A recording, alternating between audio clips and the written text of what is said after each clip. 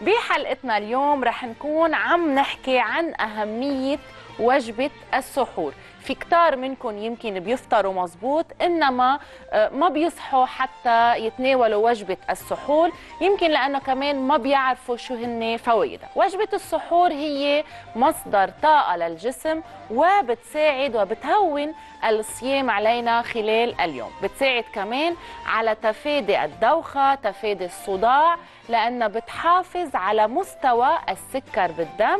وبتخفف الشعور بالعطش بتساعد على تغطية احتياجاتنا الغذائية خلال اليوم. هلأ كيف فينا نحن نكون عم ناخد سحور صحي؟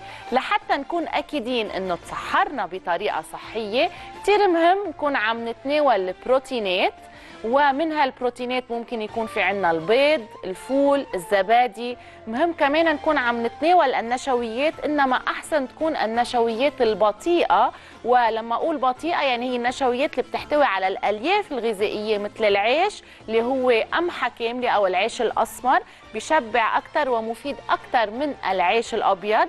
البطاطس إذا كنا عم نتناول بطاطس مشوية مثلا ممكن نخلي القشر عليها لأنه قشر البطاطس مليان ألياف غذائية وبيعطي شعور بالشبع.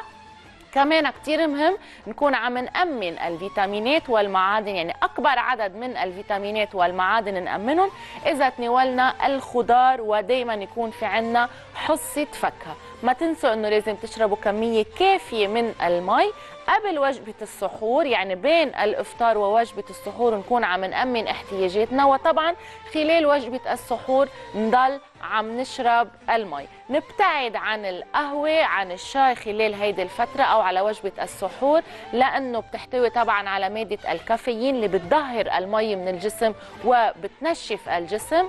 نبتعد كمان عن الأطعمة المالحة اللي هي المخلل الزيتون الأطعمة المعلب المعلبة المصنعة اللانشون مثلا الجبنة الصفراء كل هالمأكولات تحتوي على ملح كتير وبتعطي بتزيد الشعور بالعطش خلال اليوم. في عنا الحلويات الدسمة مثلا يعني لما بدنا ناكل بسبوسة أو بدنا ناكل كنافة بناكلها بعد الإفطار ما بنترك الحلويات لنتناولها على وجبة السحور. وطبعا عندنا التوابل الكتيرة والثوم والبصل نبتعد عنهم على وجبة السحور.